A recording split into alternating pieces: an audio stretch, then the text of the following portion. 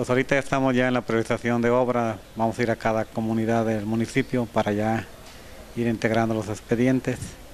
Ya se ha hablado con los municipios, con los ayudantes. Ya tuvimos los foros de consulta ciudadana, ya se formó el comité del Coplademo municipal también. ¿Ahorita ya tienen lista de prioridades o todavía las están? Vamos a ir apenas a las comunidades para la lista de prioridades. ¿y cuándo van a empezar esto? Digo, para que le vaya pensando, pues los ayudantes, la población vaya consultando. Mire, ahorita nos detenía un poquito porque ve que se vino el proceso de cambio de ayudantes municipales, pero ya el día primero de abril toman posesión los nuevos ayudantes y a partir de ahí vamos a empezar con los trabajos.